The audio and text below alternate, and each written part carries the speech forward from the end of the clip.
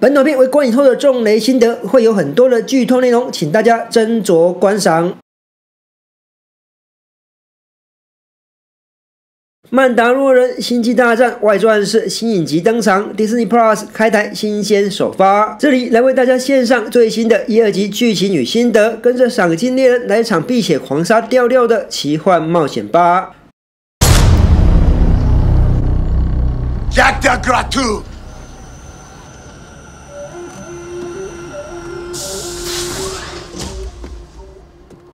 嗯，虽然 Disney Plus 已经在美国正式启用，但台湾亚太这边还要再等到二零二零年初，大家可能还要再耐心等待一下下。而随着 Disney Plus 的开台，延伸至星际大战的曼达洛人影集也正式推出，想必大家都很好奇，到底这部影集在演什么吧？在曼达洛人第一季第一集一开始，先看到的是在一个冰冻的星球上，一个赏金猎人根据追踪器在寻找他的目标，然后来到一间酒吧里面，而看到相当显眼曼达洛人的头。头盔装扮，这位赏金猎人就是本剧的男主角，由佩德罗·帕斯卡所饰演的迪恩·贾伦。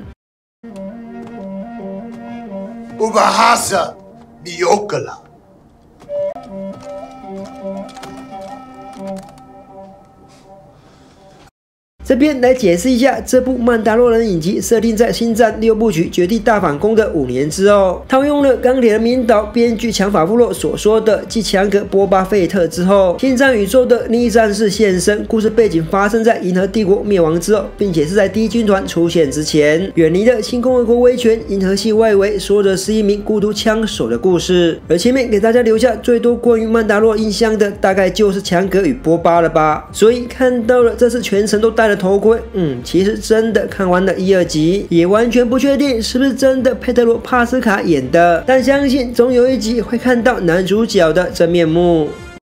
A truth, Mando.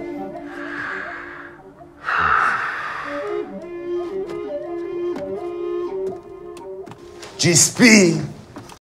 正如他们战士都戴着头盔一样的神秘，在电影真实并没有提到太多关于曼达洛人的事，主要还是在《星际大战：复仇之战》动画影集中，对于这支留着战士血裔民族有比较多的描述。所以借由这部影集看到了这位同样也是赏金猎人，目前都还没有看过他的真面目。就像《星战》里面成千上万风暴兵到底都是谁演的，没有人知道，好像也不重要。不过就凭借着这样一股诡秘的气息，跟着这位赏金猎人，故事也将会带。领着大家慢慢揭开曼达洛人的血泪秘辛。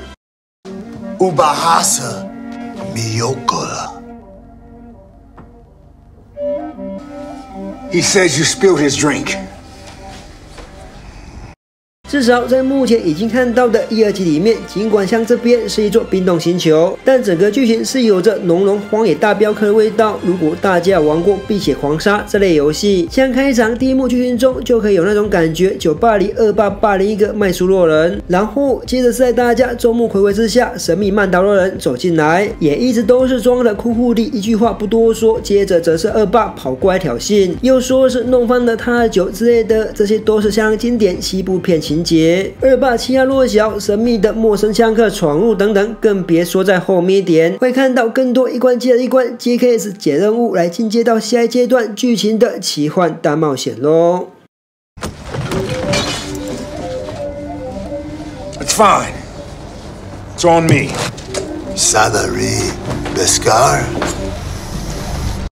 恶霸胆敢挑衅我们酷酷的男主角，所以接下来剧情应该不难猜测到下场会是如何。嗯，当然都被痛扁了一顿，通通都拿去做基金，甚至还有遭到分尸的。不过毕竟还是迪士尼影集，也是比较小可惜的一点，是不会有那种见血、恶心、强烈冲击的画面。总之呢，就是借由了酒吧冲突，带出了赏金猎人的目的，其实是要来抓一开始被霸凌的那只卖猪肉人。所以倒霉卖猪肉人是转手落到赏金猎人手上，状况没有比较。好，然后看到赏金猎人回城要求领取赏金，而过程当然也是要穿插一些心脏冒险元素。看到了有机器人开的摆渡船，驾驶着刀锋之巅要起飞时，也遇到了该星球的特产，遭到拉文奈克巨齿兽的强烈攻击。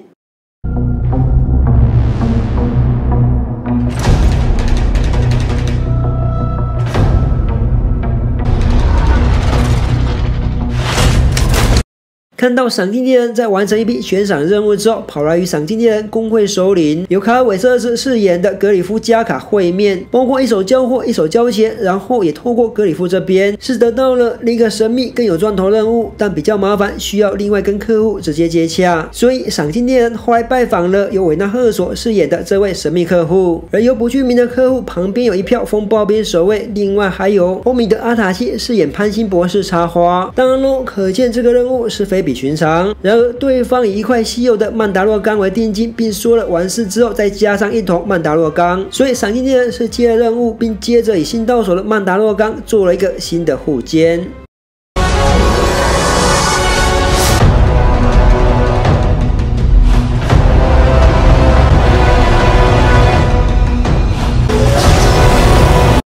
在制作新护肩的过程中，看到有出现一些小时候闪回的片段，这部分大概就是告诉大家，酷酷男主角其实有一段不为人知，甚至是令人同情的不幸童年过往。相信敌人的过去也将会是左右故事未来剧情走向的重要因素。另外，有这边也看到了，包括曼达洛钢本身所代表的象征，还有将所获得的曼达洛钢打造成盔甲的一部分，并佩戴在战士的身上。这些对于曼达洛人而言，都是具有非比寻常、相当重大的意义。而对于这个新接到任务，没有悬赏碟，没有对方的完整资料，只有个追踪器，知道大概是五十岁，所以根据客户提供的大概位置，敌人来到了 Arvana Seven 一个沙漠形式的星球。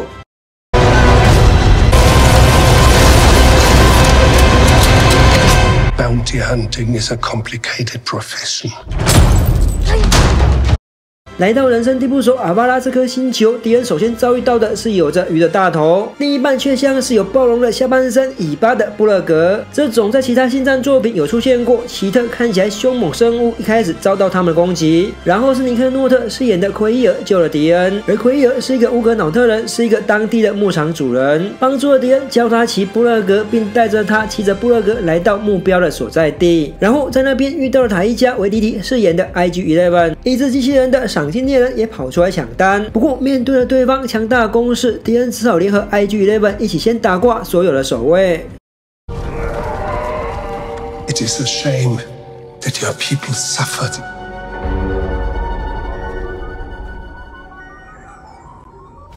出乎意料之外，在打挂对方守卫之后，敌人发现他们的悬赏目标竟然是一个与尤达大师同种类的小 baby。因为尤达他的族群可以活好几百岁，所以即使说已经五十了，但看起来还是小 baby 样。但由于 IG Eleven 执意要终结掉小 baby，在第一集最后面是以敌人挂掉 IG Eleven 来作为一个结束。而 Avara Seven 的冒险行动还没有结束，第二集则以敌人的回程带着小 baby 继续了这颗星球所遭遇到的种种。所以说，基本上第一集后半段。与第二集的剧情其实更像了辟邪狂杀跑来跑去解任务的过程，像迪恩为了骑布洛格展现的像是驯服马匹坐骑的技巧，与 IG Eleven 合作来一场指导黄蓉过瘾的射击枪战，然后在要返回他飞船的回程中遇到了特兰多杀人的埋伏袭击，还有发生了交往人洗劫他飞船设备零件事件。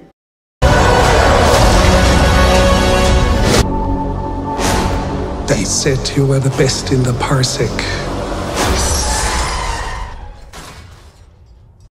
在打爆特兰多杀人过程中，敌人发现其中一个特兰多杀人身上有追踪器，所以代表的不只是敌人 IG Eleven，其实还有更多是被派来终结掉小 baby。而被一群甲瓦人洗劫，则是另外牵扯出敌人必须要去猎捕蛋蛋，一种像是犀牛的独角巨兽的蛋，来交换取回原本应该是他的那些零配件。然后敌人带着会漂浮的摇篮到处冒险，与小 baby 也是带出了不说话，但彼此间有一种淡淡的默契羁绊之掌中。而即使还是小 baby，却像是湖南。天神身怀了神秘原力的能力，几次小 baby 像是要治疗敌人，甚至是在独角巨兽要攻击敌人时，被用原力漂浮阻止攻击。后来敌人就这样挂掉了独角巨兽，取得了蛋蛋，换回了他的零备件，也在奎伊尔的帮助之下修好了他的飞船喽。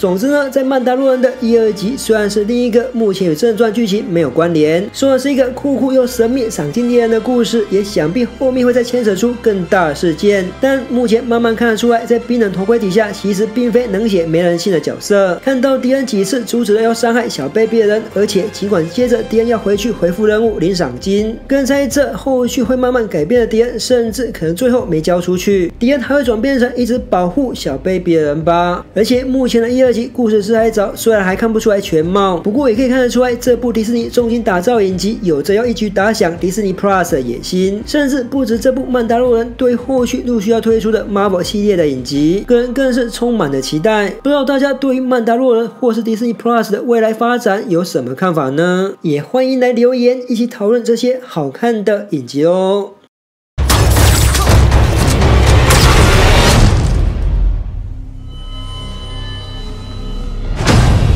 Don't you agree?